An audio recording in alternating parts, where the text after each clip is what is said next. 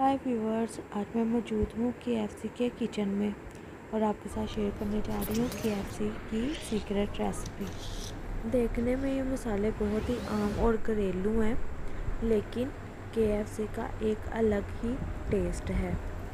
के बनाने का तरीका बहुत ही आसान है। हम घर में इसे इजीली ट्राई कर सकते हैं और ये बहुत ही टेस्टी और के एफ़ सी स्टाइल की रेसिपी बनेगी।